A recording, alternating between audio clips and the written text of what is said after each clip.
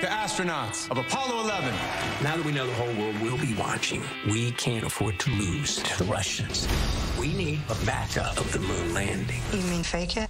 What if America's greatest mission No one can ever know what we're doing. I cannot accept that. They will shoot you. What is my budget? had a backup plan? You can't fake this mission. This is an order from the tippy top. We should have gotten Kubrick. Fly Me to the Moon. Rated PG 13.